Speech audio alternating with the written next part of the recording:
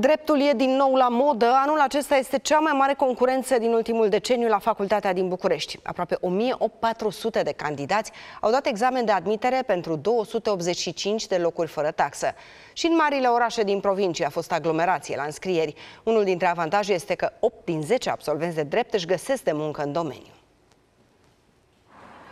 În fața facultății de drept din București a fost un furnicar de oameni și emoții astăzi. E concurență record la drept în acest an. Bulevardul Cogălnicianu din capitală e plin de candidați. Sunt cinci pe un loc astăzi. În ciuda concurenței dure, toți sunt convinși că vor trece hopul. Își fac deja planuri pentru carieră. Lumea a început să vadă un viitor în această facultate și tin să cred că unul dintre locurile acelea e și al meu. Ramona se pregătește pentru examen încă din clasa 11-a. Vrea să fie magistrat și a învățat pe rupte. Tot nu a scăpat de porecla blonda de la drept. Toată lumea îmi spune așa și când am fost la înscrieri mi-am uitat toate actele și mi s-a spus Blonda de la drept, ce ai făcut? La fel ca personajul de film, tânăra pune mare preț pe ținută. Am venit în alb. Nu știu, m-am gândit că e așa un triumf. Am zis să nu vină negru, eu port mereu negru. Am zis nu, astăzi nu purtăm doliu.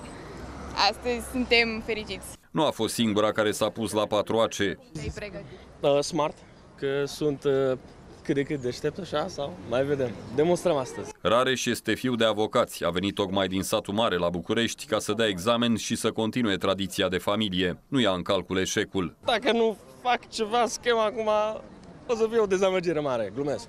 O să intru. La București au venit candidați la drept din toată țara. Uniși își urmează părinții în meserie, alții și-au găsit vocația întâmplător.